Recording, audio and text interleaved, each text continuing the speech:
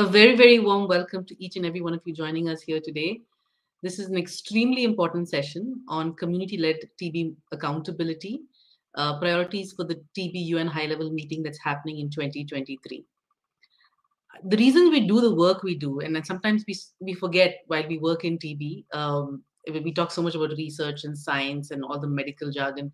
The reason we do the work we do is so that we can save millions of lives from this preventable and curable disease one of the strongest parts of any response, and particularly the TB response, would be would is would be if it is a community-led response, and we've been trying to have that happen in TB for a long time. The UN high-level meeting happened um, on TB happened in 20, 2018, and that was um, a very exciting time for us in the TB community because we thought, okay, finally, the world is taking tuberculosis seriously, and we had a whole bunch of amazing political commitments, uh, but delivery was very, very poor. And uh, governments did not live up to the promises they made at the UN high level meeting in 2018. So, what followed after that was in 2020, we, as the community, came out with something called the Deadly Divide Report, where we gave a reality check in some ways of what the situation is on the ground with TB and um, and we're, we're doing another deadly divide report just ahead of the UNHLM that's going to take place next year. And uh, I think this is an extremely important exercise to inform governments of what the situation is on the ground and for us to take action. Today, we have an extremely exciting panel of people, all of whom I know and love. Um, the first speaker would be Miranda, and we have Austin who will speak after that. We call him Chief Austin. And we have James from Stop TB Partnership and Amrita from York University who will be speaking right after that. We would have a Q&A session. We're hoping to have a longer Q&A se session than expected, uh, than usually happens in these sessions because these presentations are pretty short. Um, so I would request everyone to please put in your questions in the Q&A uh, box and we'd be sure to address them uh, if time permits. So thank you very much. I look forward to an exciting discussion and we can start with the presentations. Good morning, good afternoon, and good evening. My name is Marina Bayang from Indonesia, and thank you for having me here.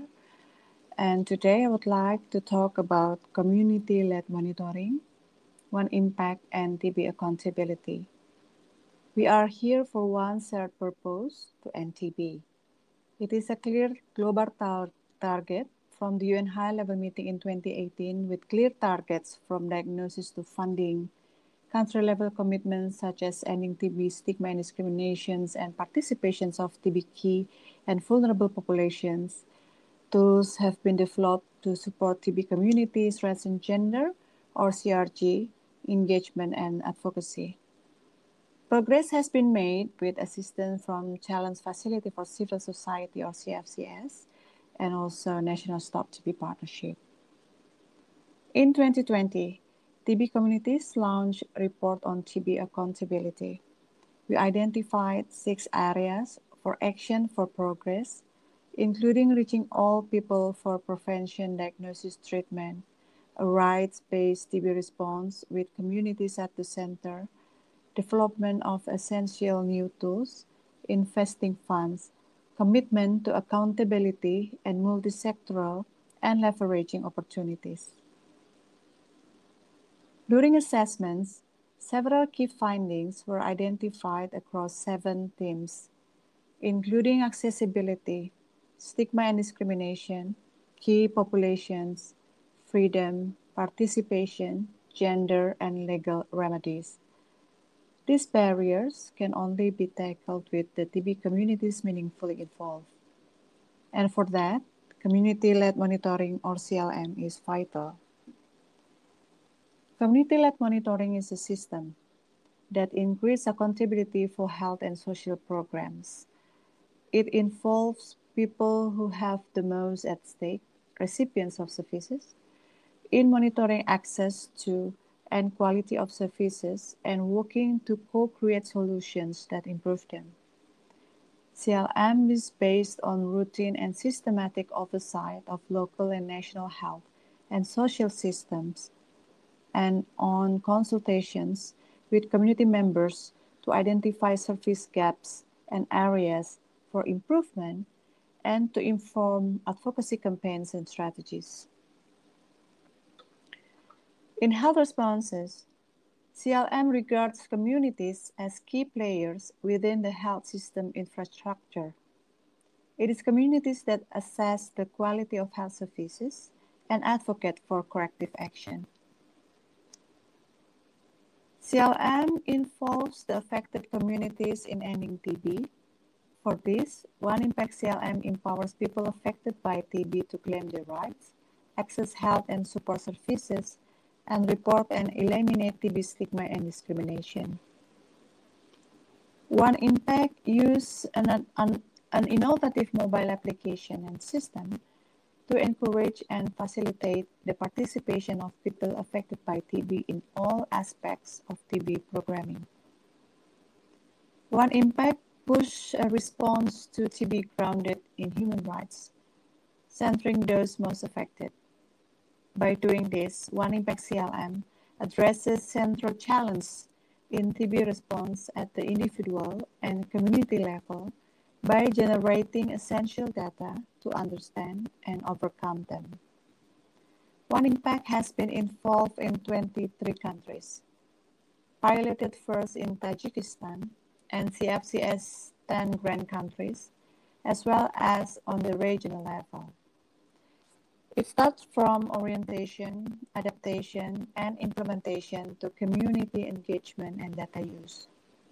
With One Impact, Communities have been mobilized and engaged in TB response, with 17,000 of people affected by TB using One Impact. It empowers communities with information, helping to fulfill human rights and improving access to TB care and support services, as seen from 11,000 accessing TB and human rights information, and 2,000 accessing TB service delivery center information. One Impact also enhanced community mobilization through the online community forum Get Connected with 7,000 of people using it. TB communities also claimed and realized their rights with 10,000 reporting TB challenge and nearly 70% of them resolved. 10 countries also provided unique information on the availability, accessibility, acceptability, and quality of TB care and support services, including stigma and discrimination. One Impact has also been translated into 20 different languages, ensuring accessibility for as many as possible. But this is not the end. We still need to do more. There are several steps we can take to continue this progress. First, establish country commitments on TBCRG translate to the National TBCRG Action Plan. Evidence is available to ensure nuanced, targeted, and strategic intervention to overcome barriers from policies to provide access to quality services for all. Third, One Impact is a considerable opportunity for TB affected communities to continue engaging in CLM. Four, further adaptation and piloting are needed to support community engagement. And last but not least, it is essential to remember that when we talk about TB communities, an emphasis should be placed on TB survivors and key and also vulnerable population. We are the ones living through them. So the community are crucial to ensuring all this work can genuinely TB. Thank you so much for your kind attention.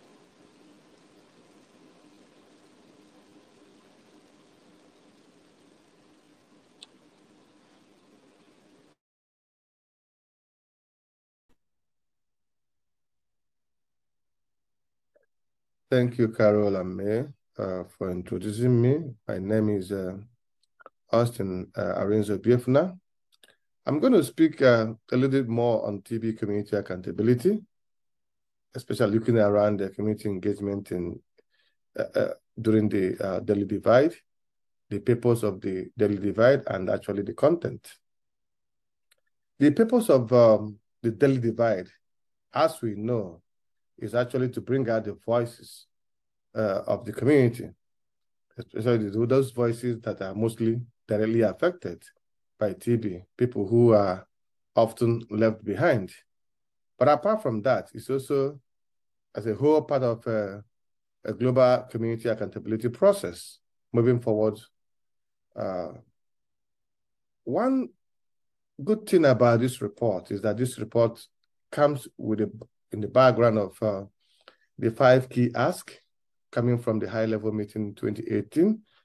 And also one beautiful thing about it is that uh, the additional area of engagement is about the COVID uh, pandemic because in 2018 we didn't have COVID, but leveraging the COVID-19 as a strategic opportunity to end TB, we needed to also highlight it as the last area for action, apart from the reaching the action, uh, the area for action, the C-score area for action, reaching all people through TB diagnosis, treatment, care, and prevention, making the TB uh, response right-based, equitable, and stigma-free, with communities at the center. And uh, a whole lot. But the most important thing is that this report has come at a very right time, that countries are actually implementing uh, the report, using it as a guide, not only for the advocacy uh, purpose, but also holding their countries accountable, seeking for improved domestic financing, which is very key. We know that uh, the resources in TB has dwindled so much, even with the, the biggest donor uh, which is supposed to be Global Fund, still have challenges in terms of reaching the milestone, getting the, the resources that is needed required to end TB. We have the global plan 2023 to 2020, 2030 to end TB.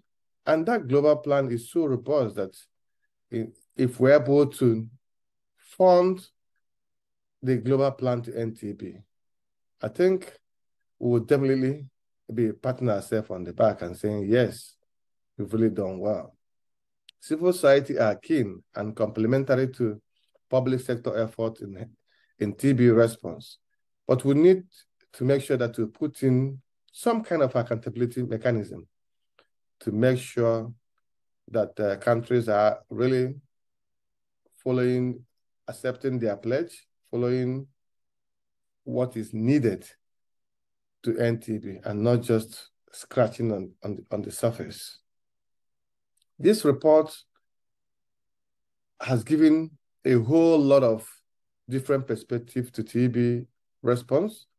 And as we are working to uh, bring out the new report, Deadly Divide 2.0, in uh, 2023, by March 2023. Also looking forward to the high-level meeting in 2023 September. This will tell you that uh, the civil society and communities are well organized in terms of uh, uh, making sure that they are ready for the next level of uh, uh, actions to TB response, doing things differently to make sure that we we reach, uh, we become ambitious and reach a, a, great milestone. Another thing is uh, this report will be used not just only for increased domestic financing advocacy, but also for civil society to understand in terms of the epidemic in their in their various countries. And also take into consideration those qualitative aspects of uh, TB response that we do not really mention because most of the times the reports coming from the national TB programs are quite quantitative numbers. They're just talking about numbers. People cured, people on treatment, people success rate. But we don't talk about how the people ended up there, the reason why the people are not ending up at the facility. We don't talk about the care that we give uh, to the people. So those qualitative, the, the, the rights-based approach, equitable rights-based approach, we don't talk about gender. We don't talk about uh, the, the stigma and discrimination that actually prevent people from ending up at the facility, even with the strong demand creation uh, advocacy activities that happen within the civil society and also the communities. But again, like I said, deadly divide is the way to go. And uh, we're looking forward to your contribution to do Deadly Divide 2.0. We are looking forward to launching it together like we did in 2020. And uh, like I said, that is the way to go. Thank you.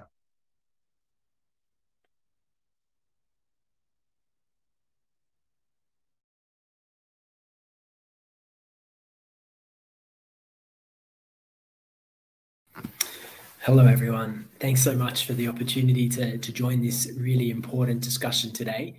Um, as as like our, uh, our, as the previous speakers have spoken about, there is a UN high level meeting on TB in 2023, and a real central focus of all the advocacy work over the next 12 months will come from the community's work and the TB Community Accountability Report, A Deadly Divide TB commitments versus TB realities. As we heard, this is the second iteration of this report. The first one was a landmark, the first time in TB that we'd had a, such a, a community led initiative of this scale. Um, and it's really fantastic to see that there's that the Stop TB uh, community delegation, developing country NGO delegation, developed country NGO delegation are again taking forward this important initiative. So the focus, I guess, of this part of the presentation is to build off some of the comments from, from the chairs as well as the opening speakers, and to think a little bit about um, a deadly divide uh, and its utility for advocacy and engagement. So firstly, the first iteration of, of this report. It featured inputs from over 150 partners in over 60 countries there were six regional launch events in six different languages. There were six calls to action, 24 case studies. But, but the second iteration, it needs to be bigger, it needs to be more ambitious, and it needs to be even more strategic. The Stop TB community delegation is developing a dissemination plan for advocacy, communications, and engagement. So I suppose we've heard a little bit about the work that will be done and the processes for consultation, for participation, for input and design of the report itself. A bit about some of the, I guess, the, the key priorities and how it will be shaped by by what's likely to be six calls to action um, around this, which also mirror the six key asks that the TB community will likely take to the UN high level meeting. But what's also going to be really critical is how then that report, that evidence, those calls to action are used at the global level with a range of different stakeholders, but even more importantly, at the country level as well. Now, this will, this, I think, the Deadly Divide in and of itself can be seen as a, an advocacy manual for TB communities on the path to the UN high level meeting on 2023. It's probably the most important uh, advocacy piece that will come out for the UN high level meeting. It's from communities themselves, predominantly in TB high burden countries, but also those who are in, high, in, in sort of donor environments as well.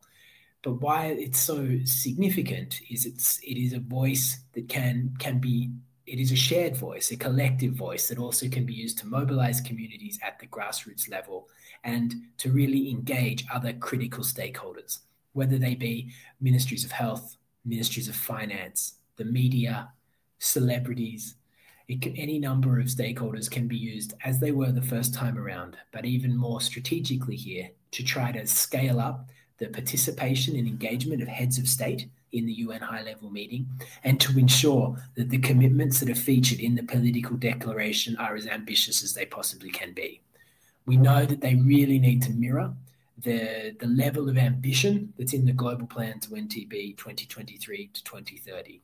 And that will be something that I'm sure communities will be at the front line in championing that particular call. Now, there's over 100 uh, round 11 challenge facility for civil society grantees who are about to commence work um, on their grants. Their work, their work focuses on looking at things like advocacy, social accountability, demand generation, overcoming human rights related barriers to access. But they will all feature um, some, some particular focus and activities on uh, community engagement, advocacy, and promoting the calls to action from our Deadly Divide Report 2.0. In particular, this will be really targeting to ensure head of state participation at the UN high level meeting in 2023, and even more than participation, engagement as well. Having a head of state speaking about TB between now and the high level meeting, championing ambitious targets, championing a human rights based approach, supporting increased financing and investment in the TB response are all things that are going to be of critical importance and will feature in the dissemination, advocacy, and engagement plans going forward.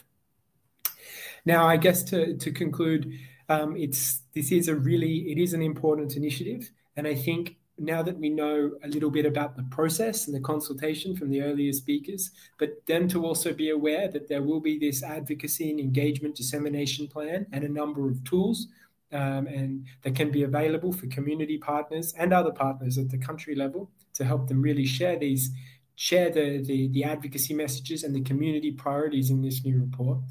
What will be you know i think the last takeaway message that i'd like to, to leave with you all is just to encourage um, all of you who are maybe new to, to, to this TB accountability work to really reach out and look to engage. I know that Austin and Amrita and May and Carol, uh, other speakers, as well as many others who are involved in this report, would very much welcome your partnership, your input, and your engagement um, because we know that only collectively can we can we raise our voices and have the mobilization and the coordination needed to really impact to achieve the ambition that we need to end TB by 2030.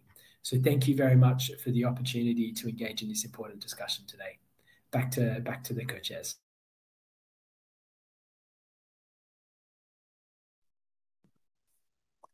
Hello, everyone. It's very good to be at the session with you today alongside Austin, Carol, May, and James.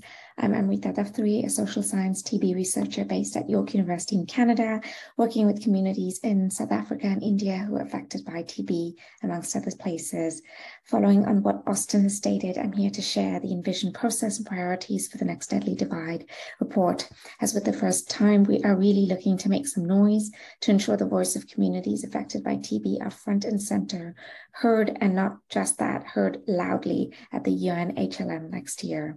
Right now, we're heavy in the midst of gathering perspectives from the community, from you, from civil society actors, organizations, and other key stakeholders working in TB, including scientific experts, funding body representatives, TB survivors, advocates, social leaders, including wherever possible, political leaders, to identify and highlight the areas in TB elimination where progress has been achieved, where gaps remain, and where priority recommendations exist for a way forward.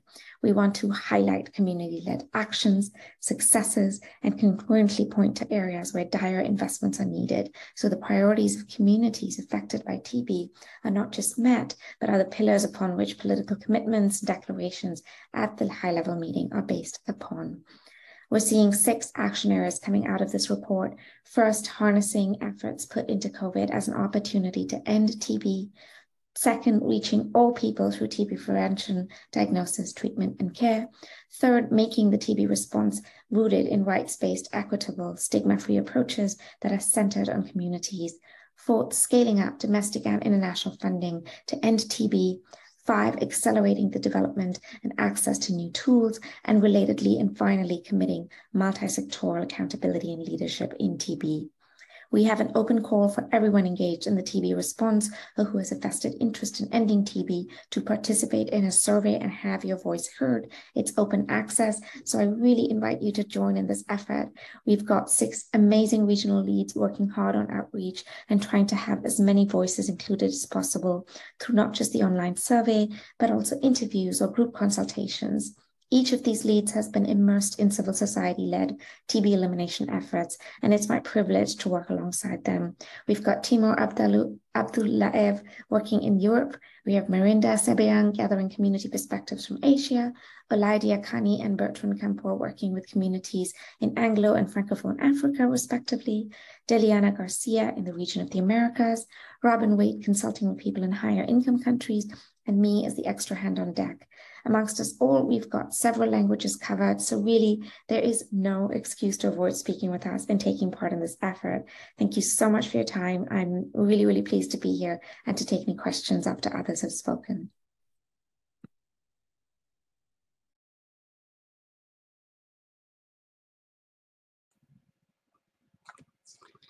I think that was a very informative uh, round of presentations, a lot to digest uh, at one time. And it's exciting to see the kind of work that's going around in the community. And uh, thanks, Amrita, for leading this work and all the people involved in delivering it. It's, it's just brilliant. Um, we have a question in the in the chat box, and um, I actually would encourage everyone who's listening in to please type in your questions because we're looking forward to addressing them. Uh, and this is actually a bit of a uh, medical question. So I'm gonna I'm gonna uh, direct it to Amrita. Uh, Amrita, so someone in the chat said that um, Afghanistan will expand DRTB ambulatory uh, treatment services, and CHWs will provide DOTs to MDR-TB patients. What is your recommendation on how to prevent CHWs from um, disease while they are facing uh, MDR-TB patients daily to provide DOT? Amrita, please. Thank you. I'm not sure if I'm the best person to speak to this, but I'll try. Um, I think COVID has taught us a lot actually about um, infection control and how to normalize it. Um, so I would follow that guidance to be perfectly honest, you know, wearing the masks, making sure that um, the, the patient themselves does not feel um, stigmatized and at the same time the health worker is protected. I think a lot of sensitization and training needs to go with health workers um, especially when they are doing home visits. That is a difficult job um, so that really the facilities need to be quite grateful for that. Um, and for the patients as well and their families um, seeing somebody coming to the house uh, can, can have sort of two um, quite polar polar results. On the one hand, it could be really awful to have somebody coming to the house and be being identified as somebody with TB in the public. Um, on the other hand, if that visit is done carefully, cautiously, with some confidentiality, with some um, sensitivity in mind, it could really help to relieve and alleviate that patient's burden. Uh, but absolutely, infection control practices have to be met. Um, and, and it would be wearing protective equipment um, if it means including a visor um, and, and making sure that the health worker themselves is not immunocompromised in any way or having other co occurring conditions. Um, you know one thing that is possible um, is is mobile health nowadays right? And so mobile versions of directly observed treatment are very possible. Um, so literally it, it, could be you know standing outside of the house and calling the person or being in your own home and calling the person to make sure that they are taking treatment and don't have any questions or side effects that need to be dealt with. Um, so i do see that point of connection for dot whether it happen in person or virtually um, as a point of connection for people with tb um, and really it, it it's less about observation and more about support provision, right? Um, so I'll just say that. Thank you. Hmm. Thanks, Amrita. Well said. And also, I mean, I think as a person who's had TB, once I got cured, my biggest fear was getting TB again because I knew what it was like.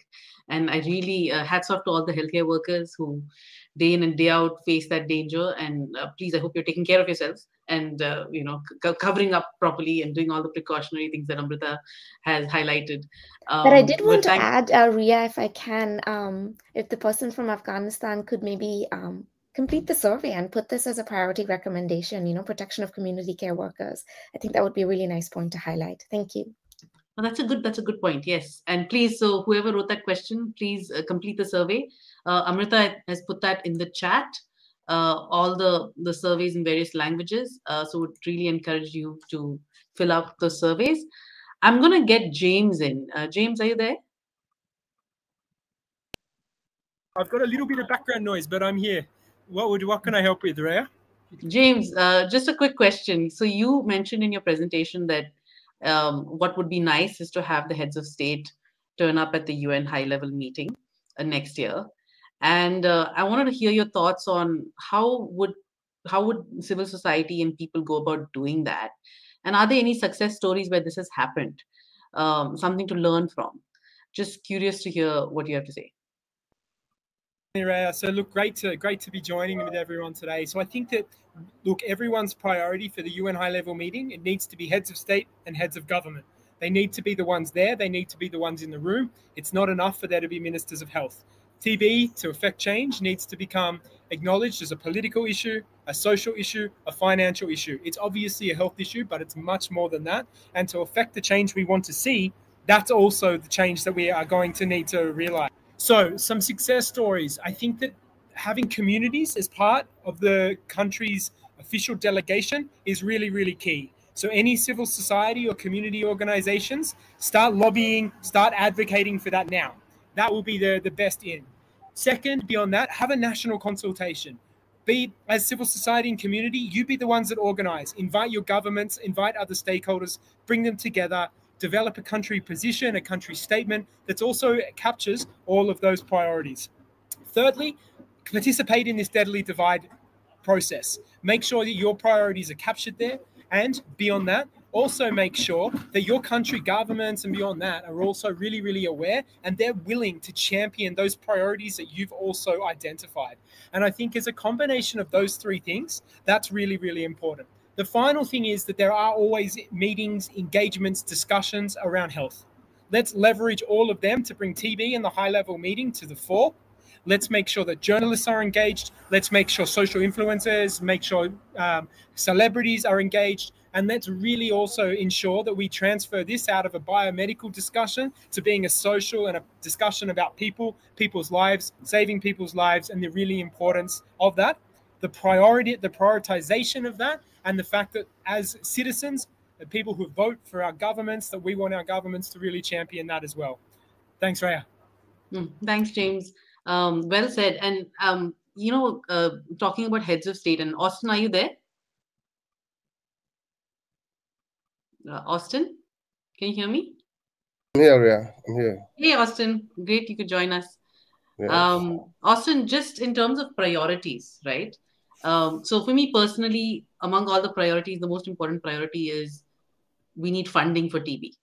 Okay, and governments have not uh, delivered their promises uh, from 2018, and uh, we don't have. I mean, from everything from R and D to treatment and care, we don't have enough money to help save these lives so that's that's just a personal observation and something that i think is important just curious to hear what you think so so so i mean i think funding and getting the heads of state to the un high level meeting should be the priority. But what do you think are your priorities other than the key asks that were that were highlighted? Uh, I, mean, I mean i mean it could be any of those key asks actually one of those six.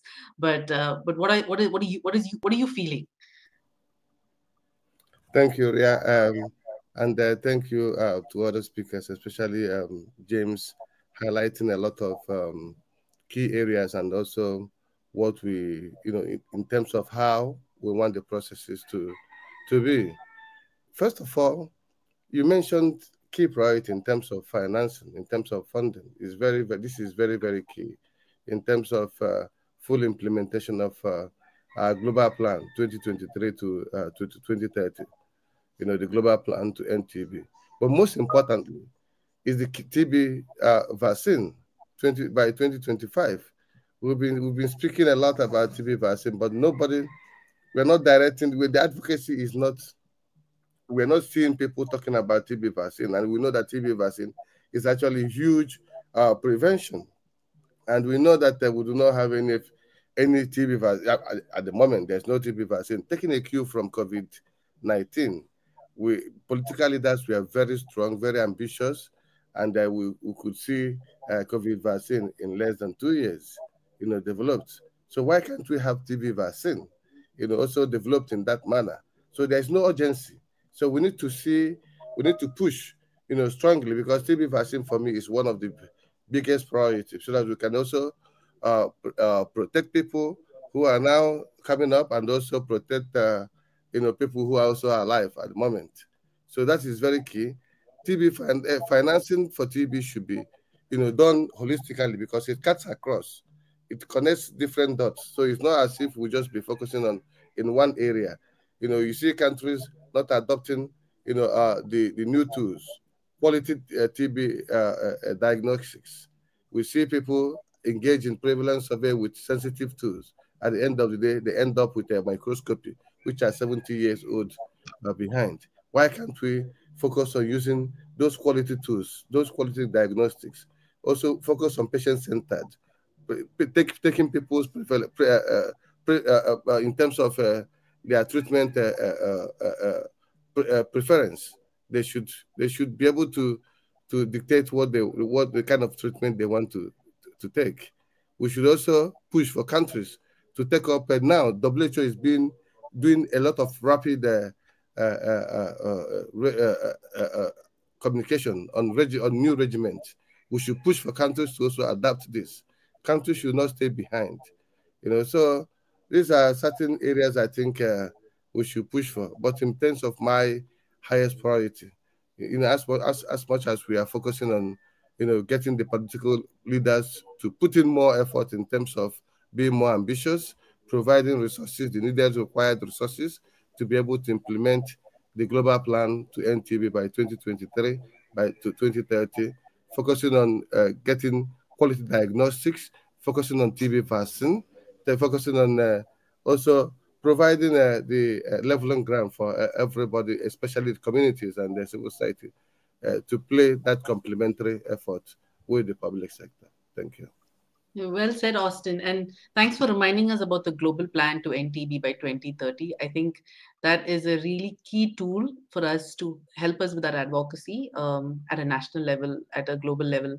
Um, so, in keeping in mind, um, you know, the whole accountability a framework that we're developing, I think it's also important to ensure that it complements all that all that we're asking in the global plan, and you know, making sure that um, we first, I mean, the first step really is to input into this deadly divide report uh, that we're working on right now.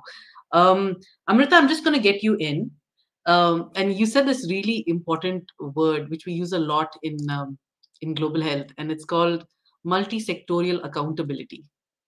Um, and Amrita, I want you to please let me know because uh, you know it's a heavy, it's a loaded word, and it's it's sort sometimes it sort of goes over your head. Like, what does that even mean, right? And uh, so, just wanted to understand what are your thoughts on multi-sectorial accountability, especially in the context of TB.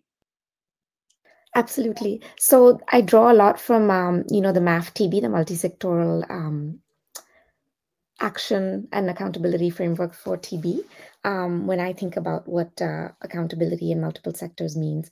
But essentially, it's really, we're talking about different sectors within the health programs as well as outside of the health programs. And so the civil society and community sector is one of those key sectors um, outside of the health program that come together in the TB response. And when we think about the actions that can be done and the commitments and declarations that everybody makes, the promises, many, many promises, um, the next thing to keep in mind is accountability. Well, you know, where where does where where have those promises gone? Where have those actions gone? Uh, and where have those commitments gone? So accountability is really about creating a pathway to ensure um, people are held accountable um, for what they have promised, um, not not as a punitive measure, but as a as a way to really move the needle. Um, otherwise, we're just talking about all the wonderful things we aim for, all our ambitions, um, but but it just kind of keeps everybody in check when there is an accountability pathway. Uh, I know from work that we're doing elsewhere that it's not so easy to to accomplish accountability, and uh, sometimes it's not so clear who one needs to be accountable to. Um, but I think all of us can agree that the one the one kind of entity that we have to be accountable to are the people who are affected by TB, right? Um, regardless of the donors, the governments, the different programs, the, even the different organizations, the person that's affected by TB is somebody that we have to keep in mind as the primary accountability um, target. Thank you. I hope that's clear. Yeah, that's lovely, Amrita. Thank you. Um, Austin seems to be the most popular um, speaker today. We've gotten a couple of questions for Austin in the chat. Um, Austin, uh, the first question that's directed to you is, do you have a specific tool that communities can use to monitor implementations of the targets?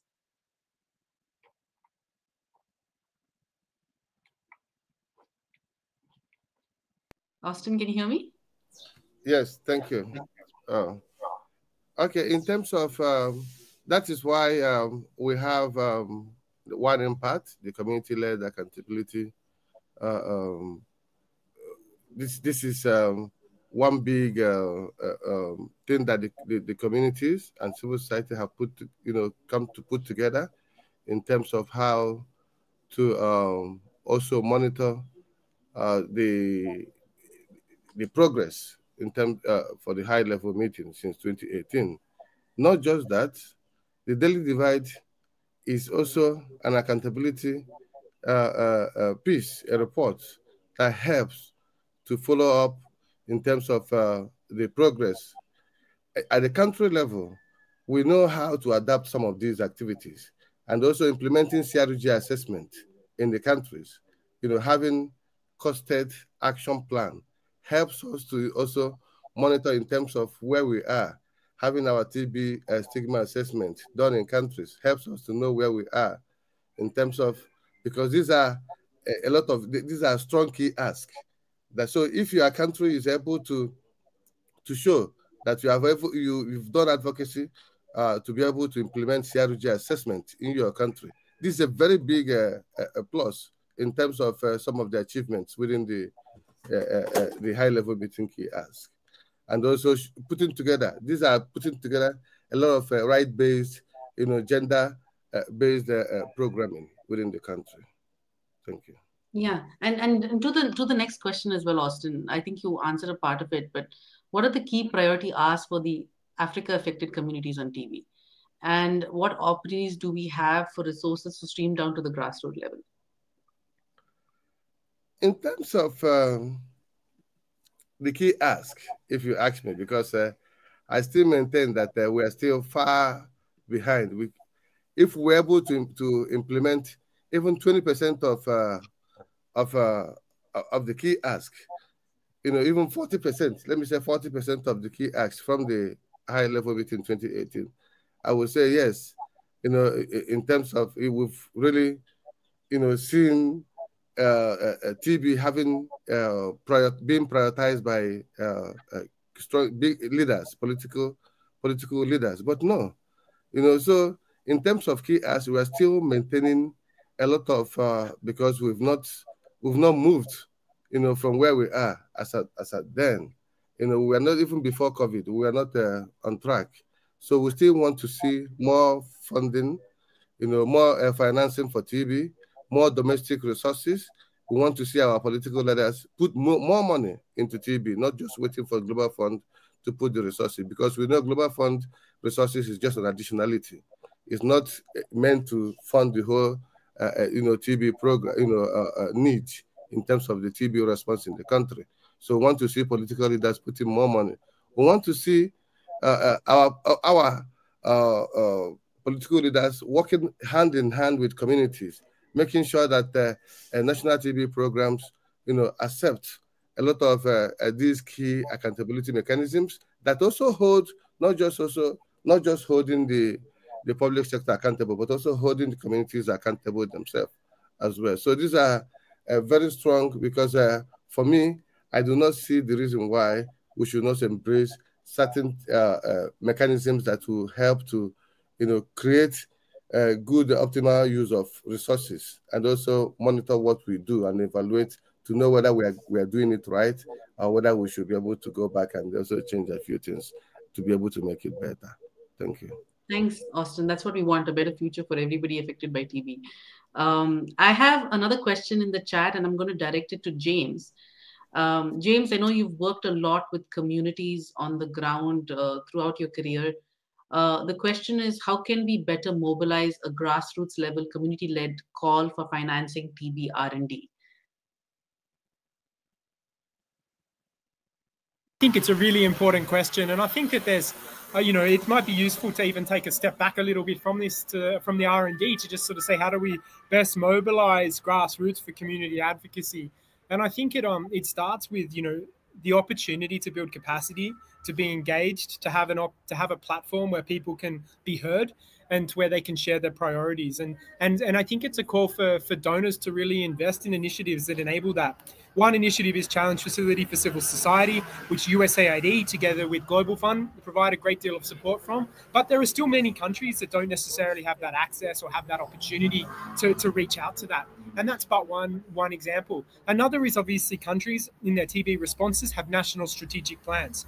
And we need to also see this exact approach of mobilizing, of capacitating, of engaging, empowering communities at a grassroots level to be a, a, key pillar of national strategic plans. So it's not just that communities are engaged as almost passive recipients of care or as you know invited invited on the side to, to attend, but actually have a leadership role and the opportunity to meaningfully participate. So I think you know that change in sort of approach and that really like shifting towards that more social and, and, and grassroots approach is really key. And the final point is I think that there are tools that can really help support this.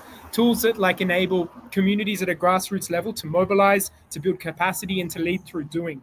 Uh, Austin mentioned two. He mentioned community led monitoring and he mentioned the CRG assessments. These are just two, but they're really good examples where you have the grassroots leading a process building partnerships with other civil society and community, building bridges with national TB programs and health providers to really, I guess, provide a joint agenda and a joint way forward to address, address priorities. And so I guess coming back to the, the question on, on, on sort of these new tools, the same principle applies. How do we how do we mobilize? How do we build capacity? How do we provide investment to ensure people can take this forward? And collectively, there are approaches that work, but as a TB community, we just really need to prioritize and advocate for them to be scaled up.